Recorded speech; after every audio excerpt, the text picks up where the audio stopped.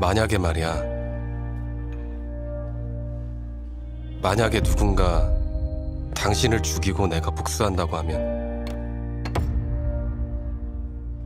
당신은 뭐라고 할까?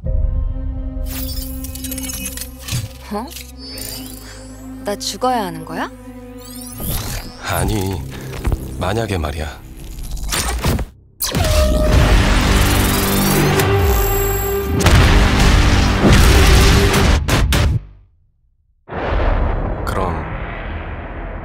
내가 복수해 줄까?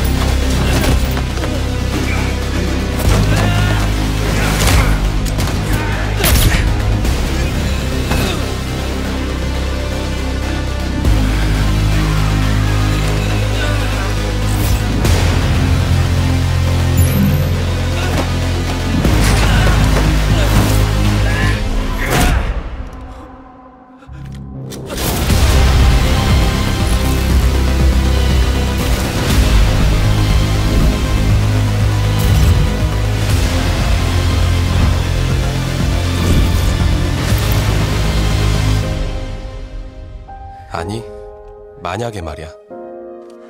그럼 내가 복수해 줄까?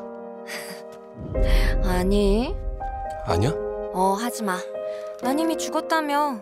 그럼 차라리 우리 딸을 위해 더 열심히 살아줘. 위험한 데는 근처도 가지 말고.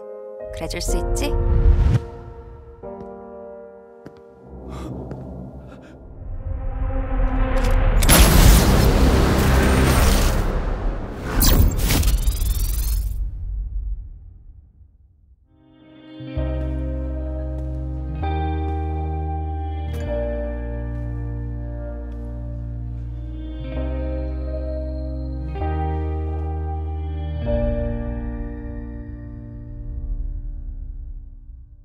만약에 말이야.